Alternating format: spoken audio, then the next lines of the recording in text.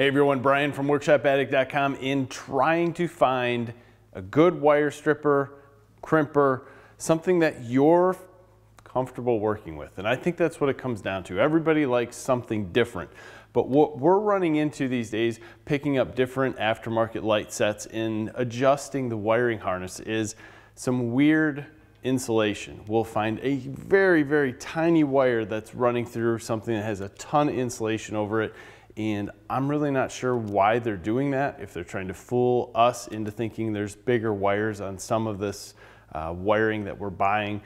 But whatever it is, it's a pain in the butt if you like these style strippers because you might think it's an 18 gauge wire, put it in 18, strip it, and it doesn't strip real well, and you're wondering what the heck's going on. But the reality is, is you got to drop down to 22 because it's just tiny wires inside. So in messing with this, we thought there has to be a better way. So in searching around for some parts on summitracing.com, we found their branded pair of wire strippers. Now these are an automatic style wire stripper that will strip anything from 10 gauge to 24 gauge. And there is something very interesting and nice about this. Now, it also comes with crimpers on the bottom for insulated wire, non-insulated wire, and it has a wire cutter. I have not gotten into using that because I really dislike the fact that when I'm crimping, I have to move my hands and use another tool. So in using this, what we found, again, for us, is that we like to use it on the bench or use it where we're comfortable having another tool. If we're in a tight area and we can't see what we're doing and we're trying to just use one tool, we'll bobble back and forth between a tool like this and still use the bottom. The bottom on this Milwaukee has red, yellow, and blue dots for where you should use each crimper. That helps a lot because if you're using a yellow or a blue wire here, you can figure out where it needs to go in that tight space.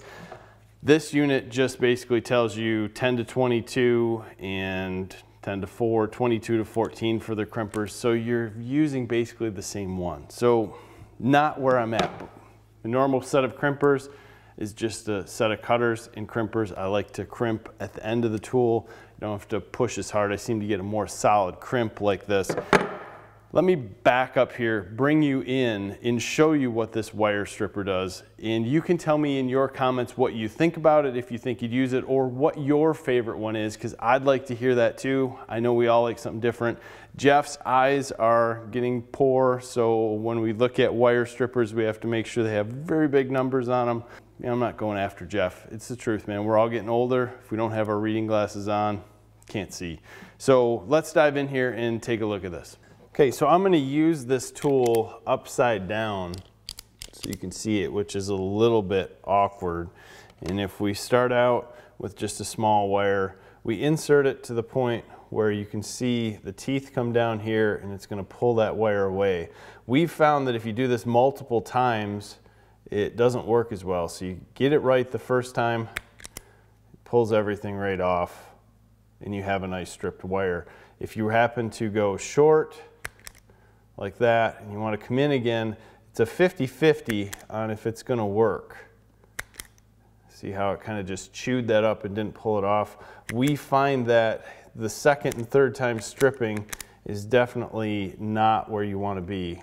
The cutter does work well down there. And every once in a while, if you squeeze it weird like that, like I did trying to just show what's going on, it will not pull the wire perfectly. So it's a tool that you get used to a little bit and there are pluses and minuses to it, but we can take different wire, different sized wire, and as we get up to a number 12, it becomes less and less reliable, especially with this stranded. It worked well here if I kind of go fast, but if I go slow, eh, it worked again. But usually if I can go slower on the bigger wire, it doesn't work as well. Let's try this guy. Worked good there going slow. Sometimes this is not reliable going slow and I'll just have to have you believe me on that one. This is one that we prior tried to strip and it didn't. Worked again there. Either way, if this tool is used, it will strip just about any wire, even some of that Chinese wire that is not perfect.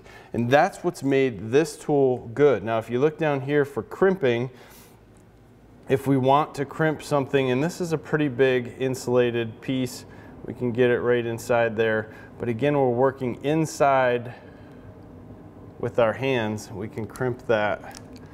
Plenty of pressure to crimp and it crimped it very well. I just don't like moving my hands down as much. That's why I try to find another set of crimpers to use up on top. If you were to use a really small wire, you can see here that you have a plus and a minus for how much these will grab and pull away. So if you're using a 24 or 22 gauge wire, you can adjust that micro adjustment knob to kind of help you out. Pretty cool set.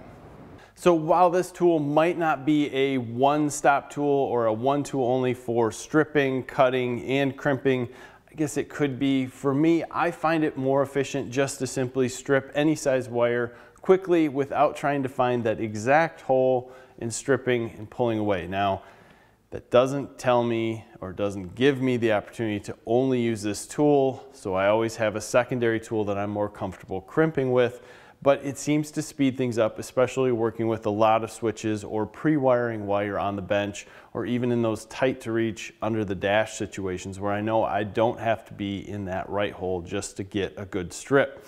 Now with that said, we've also bought a pin crimper, and I'll put a link to this down below. If you're not familiar what a pin crimper is, basically you have little tiny pins that will push into connectors. And these are tough to crimp, especially to get them right. So you have a little bit different style of pin crimping in here. Uh, this was a fairly inexpensive tool also. I'll put a link to this in the bottom. We're going to use that a lot more when we start to get into the turn signals and plugging pins into the dash that are used in the European models of the Polaris Turbo S behind us. So we'll get into that, maybe a little bit more on wrenches and rides. But make sure you're subscribed to this channel and wrenches and rides. Give us a like in this video. We appreciate your time, guys. Have a great day.